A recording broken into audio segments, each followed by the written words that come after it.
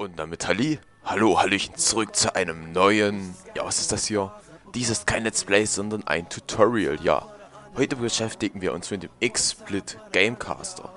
Ja, was ist das? XSplit Gamecaster ist ein kleines Tool, äh, dank dem ihr eure Spiele aufnehmen oder direkt streamen könnt auf YouTube, Twitch oder sonst sowas. Ich werde aber gleich sehen, wir beschäftigen uns erstmal damit, wie bekommen wir dieses Programm. Ich finde es sehr gut, das ist zwar nicht kostenlos, sondern kostet, gucken wir nachher mal. Und es gibt von XSplit, so es heißt die Firma, gibt es zwei Softwares. Einmal den XSplit Broadcaster, das ist, wenn ihr Livestreams machen wollt und damit eure Fratze, sag ich mal, einblenden wollt, also wirklich Broadcasts, quasi wie eine Nachrichtensendung. Und ihr macht Gamecast, das ist halt wirklich, dass ihr Livestreams macht von euren Spielen. Es läuft relativ gut. Hier könnt ihr das erstmal downloaden. Das sind zwei Dateien jeweils, also jeweils eine Datei. Äh, knapp 40 Megabyte. Davor müsst ihr euch natürlich anmelden, habe ich alles schon gemacht und so. Ja, ich habe noch eine Premium-Lizenz bis 26. März, ist jetzt aber egal. Wie gesagt, ihr ladet die runter und dann kommt hier halt eine Datei, ganz normal eine Exe, da drückt ihr doppelt drauf. Und ja, bitte Administratorenrechte, Extracting, Extracting, Extracting und so weiter. Welcome, ihr macht alles weiter, das ist eigentlich Standard. oh, ich bin ein bisschen heißer, keine Ahnung warum. So, der bereitet das erstmal vor, das dauert eine Sekunde. So, jetzt können wir Next drücken. Dann können wir das halt äh, ganz normal installieren. Ich habe das jetzt schon gemacht. Ist eigentlich nicht besonders zu beachten, außer halt, falls ihr euren Installationspfad anpassen wollt, dass ihr das rechtzeitig macht. Ja, das wollen wir canceln. Und finish. Dankeschön. Okay, dann starten wir das Programm mal. Das habe ich auf dem zweiten Bildschirm, deswegen. Entschuldigung. Ähm, das dauert ganz schön, muss ich sagen. Oh, das ist normal. Links steht jetzt halt nur auf dem Bildschirm bla bla, XSplit Gamecaster und eine kleine Sanduhr, die lädt. Dum, dum, dum, dum, dum, dum, dum, dum, dum, dum, dum, dum, dum, dum.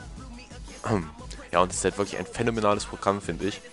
Nein, ich bekomme kein Geld hier dafür, dass ich das jetzt so anpreise. Sondern ich habe es ausprobiert. Selbst aufnehmen geht damit ganz gut. Und ja, los geht's in drei einfachen Schritten. Erstens, wechseln Sie ein beliebiges Spiel oder öffnen Sie Konsolenansicht, ja. Dann äh, drücken Sie Control und Pipe. Pipe ist bei mir hier diese Taste mit der Tilde, also über Tabulator. Weil das, finde ich, am besten ist ähm, Splitcast Overlay anzuzeigen und dann kann man halt auswählen, entweder streamt das direkt, dann streamt es für euer verbundenes Konto oder nehmt es ganz normal auf. Ja. Ähm, Livestream oder Aufnahme von Konsolenspielen ermöglicht hat, falls ihr zum Beispiel eine, eine ähm, AVO Media habt oder sowas, halt also so eine, äh, eine, so eine Aufnahmekarte für zum Beispiel Konsole, also PlayStation 4 oder Xbox One und sowas. dann kann man direkt auswählen, dann nehmt das darüber auf oder ihr könnt halt im Internet gucken über Tutorials. Das machen wir jetzt aber nicht, wir schauen erstmal Konten. Also nachdem ihr euch äh, ein XSplit-Konto angelegt habt, hier mit E-Mail und allem, schön verifiziert, äh, könnt ihr erstmal aussuchen, wohin ihr Livestreamen wollt. Das könnt ihr ändern, Twitch und sowas alles. Dienst auswählen. Hier also Twitch könnt ihr machen, über YouTube, über Ustream oder irgendwas benutzerdefiniertes. Also falls ihr auch zum Beispiel eigene Festseite, äh, Website habt, könnt ihr darauf auch streamen. Dann müsst ihr hier das autorisieren, da öffnet sich ein kleines Fenster, das können wir ja kurz mal machen. So, ähm, autorisieren. Dann sich hier am Fenster. Das wählt man hier dann aus, also bei meinem Fall ist es ja Tim Burton Let's Play. Und bla diese App möchte YouTube-Konto verwalten, das ist okay. Äh, abrufen und verwalten, Entschuldigung. Dann andere YouTube-Konten abrufen, das ist, keine Ahnung. Und das Video verwalten, damit es hochladen kann. Da drückt man einfach überall OK. Und als nächstes Videosharing. Hier können wir halt auch autorisieren, dass man streamen möchte. Das habe ich auch noch nicht gemacht, weil ich es gerade nicht brauche. Äh, beziehungsweise falls ich aufnehme, dass nicht automatisch hochgeladen wird, weil ich die bearbeite und später in der Nacht hochlade. Dann kann man äh, soziale Netzwerke verbinden, also Facebook, Twitter und Google+. Google Plus ist scheiße. Ähm, damit da automatisch geteilt wird, falls man einen Livestream macht. Finde ich eigentlich recht, recht praktisch, da muss man sich nicht selber drum kümmern. Dann geht es weiter am nächsten Reiter, Einstellungen. Hier kann man einstellen die Stream-Einstellung. Da habe ich äh, 540p gemacht, weil 720p verträgt, glaube ich, meine Leitung nicht. Ich mache es jetzt einfach mal. Dann daneben sind Zahnräder, da kann man noch einige Details einstellen. Also der Codec. Hier habe ich eingestellt den X264, weil der einfach äh, am besten komprimiert und so die kleinste Datei rauskommt. Was auch wieder weniger braucht zum Stream. Dann Framerate habe ich 30, das reicht eigentlich, weil bei 60 unnötig groß werden würde. Und auf Festplatte sichern, damit ihr eure Streams halt ähm, sichern könnt, vielleicht irgendwann später nochmal irgendwo hochladen. Ja. Dasselbe eigentlich bei den Aufnahmeeinstellungen, hier ist es selber. Kann man noch die Qualität einstellen, habe ich auf sehr hoch gemacht, weil, oh, ich kann auf extrem hoch. Ich mache auf extrem hoch, weil damit man später noch besser encodieren kann. Dann können wir hier noch sein, also erstmal sein Mikro einstellen. Das wird neben dem, äh, neben dem Spiel aufgezeichnet, also theoretisch zwei Soundspuren. Aber es wird direkt in einer irgendwie vermixt und deswegen, ähm, na, deswegen kann ich halt nicht die nochmal trennen, die Soundspuren. Das finde ich ein bisschen schade. Und dann können wir direkt noch seine Live, äh, seine Webcam mit anschließen, damit man sein Bild mit einblendet. Also hier zum Beispiel oben in der links in der Ecke. Dann habe ich hier noch äh, eine, eine BRB, Grafik lese ich das richtig, genau, BRB-Grafik eingefügt. Das ist, falls ihr einen Livestream macht und gerade mal pausieren wollt, da kommt dann dieses Bild. Ich habe jetzt mal zum Beispiel das hier eingefügt, das haben wir selber zusammengebastelt. Ich halt mit kleinen Sonnenbrille, bin gleich wieder für euch da und so einen fetten AFK-Gamer. Als nächstes kann man hier noch auswählen, wo man diese Anzeige hinhaben will mit diesem Overlay, wie auch bei DX Story. Da kann man sich die Spiel-FPS und die CPU-Auslastung anzeigen lassen. Das mit der CPU-Auslastung finde ich sogar relativ interessant.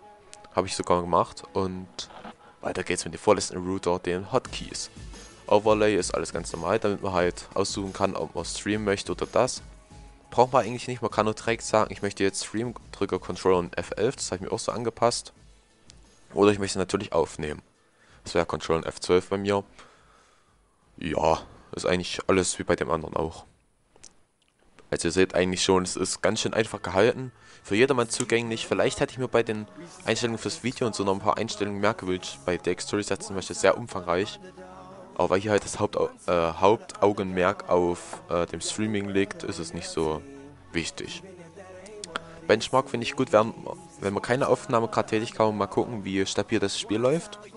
Und als letztes legt man hier noch einen Ort fest für die Aufnahmen, die man selber tätigt. Die erscheinen dann immer hier, wenn man fertig mit Aufnehmen ist. Die werden nicht automatisch gespeichert.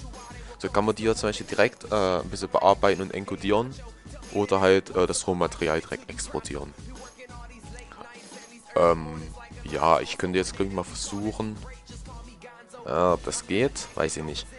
Ähm, ja, wenn es nochmal, mache ich ein extra Video, um euch das mal in der Praxis zu zeigen. Also mal mache ich mal Spiel im Fenstermodus, da seht ihr hier mal die Anzeigen und alles, wie das funktioniert.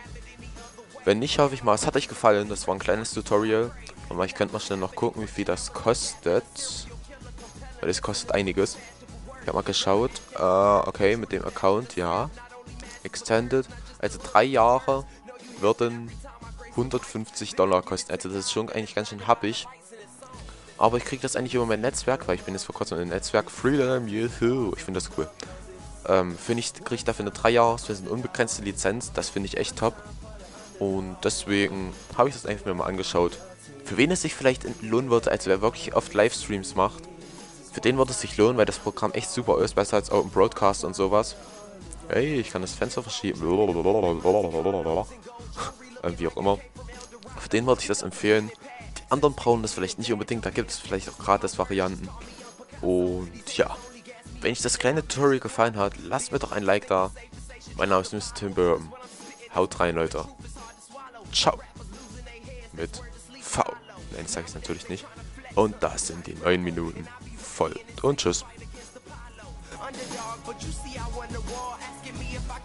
Asking me to raise the bar. I've been in this place before. Matter of fact, most of my life, they told me that I would fail, die before I prove them right. Pinning verses on my lunch bag. Now I'm doing shows. Lady Luck blew me a kiss. Now I'm a prince, never a toad. Bitch, your bottom, I'm the greatest. That's on everything I own. And though it isn't much, I want the world like Al Capone. I'm coming for the glory. This is sermon to the masses. The kid you shitted on is telling you to wipe his ass. Let me see you put up.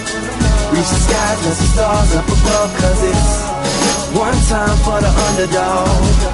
One time for the underdog. You got the world on your team. Even if that ain't what it seems. It's one time for the underdog. One time for the underdog